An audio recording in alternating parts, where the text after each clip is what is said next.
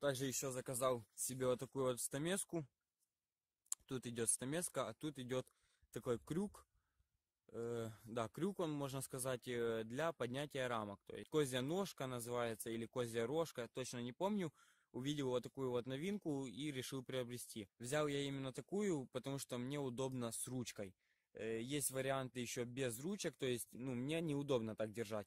Вот в магазине Ули и Ин появились варианты с ручкой, и я решил себе приобрести. Также есть здесь э, гвоздодер, э, доставать рамки и, допустим, собирать э, прополию. Оставил закрытой, думал, пчелы сами себе там, ее вскроют, но нет, пчелы не вскрыли. Значит, я им помогу.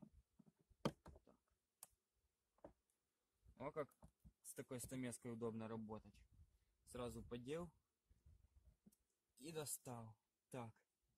Ну тут рамочка полностью залита. Так, что у нас здесь? Начинает уже все прополисовать. Все в прополюсе.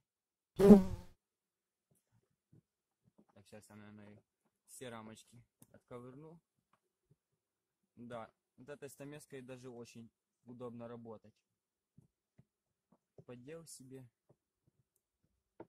Не надо ничего вырывать. Так.